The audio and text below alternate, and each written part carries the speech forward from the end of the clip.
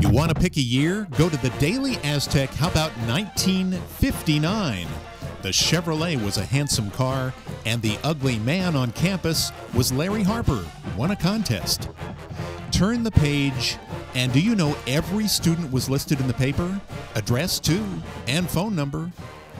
San Diego State's enrollment had skyrocketed to 9,033, and your student fee was $8 of which a whopping 30% went to athletics, which they needed, considering that in that year it was headline news a ball exploded.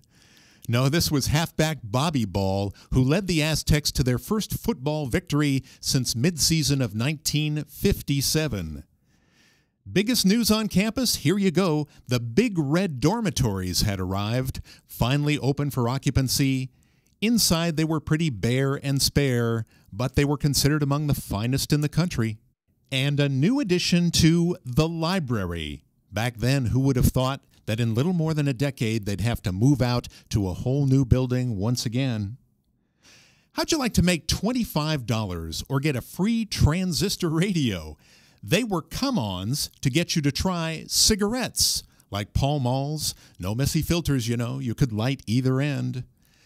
Miss Slick Chick was named to represent the egg industry, if not political correctness on campus. Recognize these guys? The Kingston Trio was coming to town. Get your tickets at Lloyd's Music City, or you could go see the movie House on Haunted Hill. Very scary. Men went to the college barber shop where flat tops were the specialty, Women on campus took advice from Mrs. Marybelle Bigelow, assistant professor of art, who said, Watch how you dress now. School is a business, not a cocktail party.